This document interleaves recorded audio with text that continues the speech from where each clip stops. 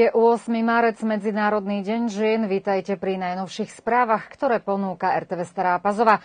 Najstarší poslanec v novom zložení republikového parlamentu Stojan Radenovič zvolal schôdzu tohto zákonodárneho telesa na pondelok 11. marca o 11. hodine. Srbská pokroková strana, ktorá vo voľbách mala najviac hlasov a prezidentom republiky je poverená zvoliť mandatára na zloženie vlády, rozhodla, aby kandidátom na predsedu parlamentu bola doterajšia premiérka Anna Brnabičová. Na avizovanej ustanovujúcej schôdzi Národného zhromaždenia v pondelok poslanci budú voliť predsedu, podpredsedov a generálneho tajomníka parlamentu. Tiež zvolia nových členov pracovných telies a parlamentných delegácií. Aj keď sa vo verejnosti často hovorí o rovnoprávnosti pohlaví, v praxi to však vyzerá aj tak, že doma či v práci sa často rozlišujú ženské a mužské práce. Trendy sa pomaličky menia. S cieľom poukázať na netypické ženské povolania 16 žiačok Strednej technickej školy zo Starej Pazovy navštívilo spoločnosť Volvo v Nových Bánovciach, aby aj týmto spôsobom oslávili dnešný sviatok žien. Pri tej príležitosti sa žiačky viac dozvedeli o možnostiach práce v menej typických zamestnaniach, o spôsobe rozvoja kariéry a prednášali im o tom úspešné ženy z tejto spoločnosti. Jedno Jednou z nich bola generálna riaditeľka spoločnosti Volvo v Srbsku Dragana Krstičová. Dievčatá mali dokonca možnosť sadnúť si za volant kamiónu, oboznámili sa so zaujímavosťami a dozvedeli sa, že aj ženy môžu byť automechaničky a môžu hoci aj opravovať kamióny. Veď technická škola, v ktorej sa vzdelávajú, ponúka odbory ako technik cestnej dopravy, zámočník, zvárač, technik na obsluhu CNC strojov a nežnejšia časť žiakov môže byť rovnako úspešná a šikovná ako chlapci. Hádam, všetky ženy dnes už dostali kvietok, či aspoň pozdrav, úsmev alebo objatie. Najčastejšou pozornosťou 8. marca bývajú kvety a dnes vo všetkých kvetinárstvách mali plné ruky práce. Kolegyňa Ivana Lukinová navštívila jedno kvetinárstvo v Nových Bánovciach, kde od rána bolo plno zákazníkov, aj mužov, niekoľko žien, ale aj deti, ktoré kupovali kvietok pre svoju učiteľku, mamu či sestru. V kvetinárstvách už niekoľko dní predtým vymýšľali ponúkajú nové aranžmány a prekvapenia a musia sa dobre zásobiť. Najviac sa kupuje červená rúža, orchidea a naaranžované košíčky, ale aj kytice a potom čokolády, bomboniery alebo drobné darčeky. Ponuka je široká pre každú peňaženku. Dajú sa nájsť jednotlivé kvety od 150 či 200 dinárov cez 600 dinárov za menšie aranžmány až po vyše tisícky za kytice. V mnohých krajinách sveta sa dnes pripomína sila a výnimočnosť žien, no ako povedala kvetinárka Natália Ďakonovičová z Nových Bánoviec, ženy si pozornosť zaslúžia nie len u 8 deň v marci, ale častejšie. Kvetinárstva sú predsa otvorené denne a niekedy na miesto kvetu stačí len viac pozornosti, úcty a láskavosti. Ako zverejnil podnik Elektrodistribúcia, zajtra 9. marca v Starej Pazove bude odstávka elektrickej energie v čase od 8. do 14. hodiny a týka sa to ulic Partizánska od čísla 10 a 19 do konca ulice a ulica Jana Síkoru od začiatku po číslo 64 a 67. Všetkých 11 cintorínov na území Staropazovskej obce je riadne upravených a to v ústrety zajtrajším tzv. zádušniciam. Cintoríny má v starostlivosti verejnokomunálny podnik Čistoča, ktorého pracovníci v tomto období cintoríny upratovali, vynášali všetok odpad, kontajnery sú teraz úplne prázdne a ako vysvetlil Dragan Tanovič z tohto podniku, odstránené boli aj všetky konáre, ktoré boli staré, zlomené alebo zabraňovali občanom v prechádzaní k miestam, kde odpočívajú ich milí. Podľa doterajších skúseností v deň zádušníc sú cintoríny hojne navštevované a z toho dôvodu môže nastať v okolí cintorínov problém s parkovaním, najmä v Novej Pazove a Nových Bánovciach, preto pred každým cintorínom bude službu mať pracovník čistote.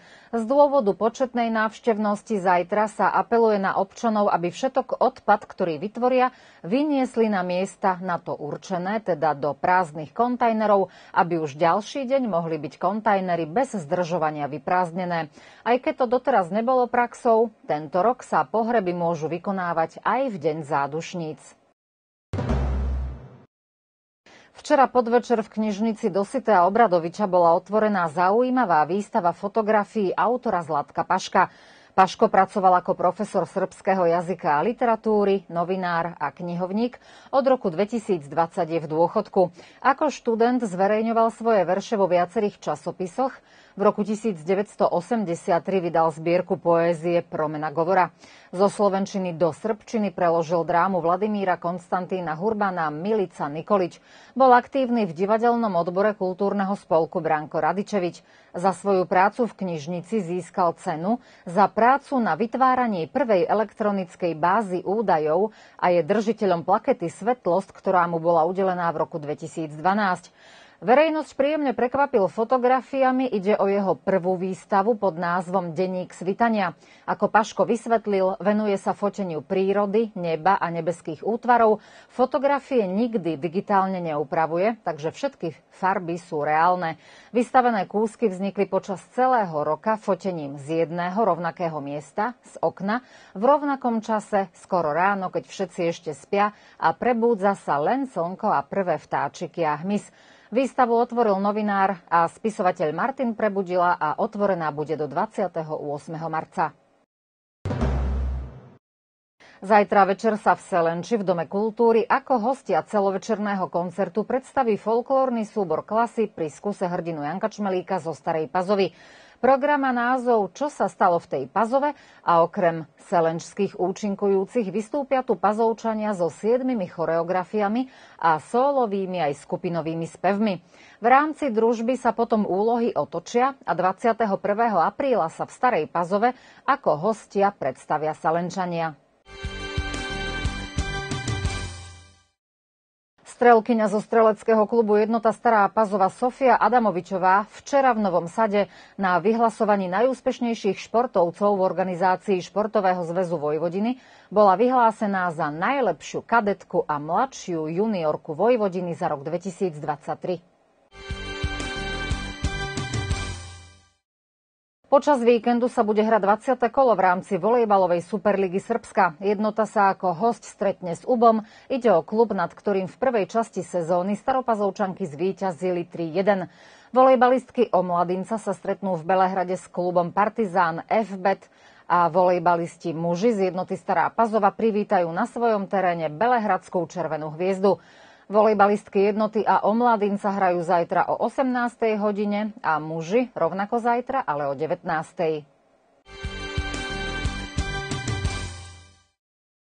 Po krátkej pauze súťaž v rámci superhádzanárskej ligy pokračuje a to už tento víkend. V 16. kole hádzanárky mladosti privítajú na svojom teréne súperky z klubu Bekament BB z Arandelovca. Zápas začína v nedeľu o 18. hodine. Basketbalisti Dunaja zo Starých Bánoviec odohrajú v rámci 24. kola druhej mužskej ligy Srbska zápas s klubom Kolubara z Lazarevca. Zápas je na programe zajtra o 19. hodine v hale Park v Starej Pazove. Dunaj je aktuálne na 13. mieste v tabuľke, na konte má 8 výhier a 15 prehier a ich zajtrajší súper je na 10. mieste s 11 výhrami a 12 prehrami. Ešte víkend a futbal, 17. kolo Srbskej ligy skupina Vojvodina. Jednota zajtra hostuje v Rúme, kde ju privíta GFK Sloven. V nedeľu v Belegiši sa bude hrať derby medzi Podunavcom a Omladincom. 17. kolo Vojvodinskej ligy skupina Juch. Radničky z Novej Pazovy sa v nedeľu stretne v Novom sade s klubom Slávia. Dunaj v nedeľu hrá v Divoši s Hajdukom a Jadran v Golubinciach privíta Index z Nového sadu. Sriemska liga Sremac z Vojky v nedeľu na domácom teréne si zmeria sily s klubom Poleta z Nových Karloviec. Všetky zápasy začínajú o 14.30. Jedine zápas Slávy a Radničky sa hrá už o 10. hodine. Ešte spomenieme ženy, futbalistky z klubu ŽFK Pravé dámy. V rámci 10. kola prvej ligy Srbska sa o 14.30 stretnú na trávniku v Leskovci so súperkami z klubu Lavice Dubočica.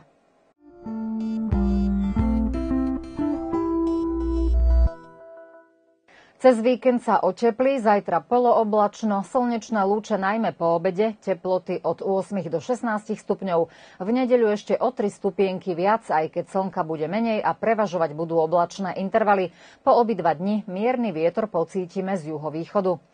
Čo na záver povie pohľad do vojvodinského kalendára? Dnes, hádam, každá žena bola obdarovaná aspoň pozdravom a úsmevom pri príležitosti Dňa žien.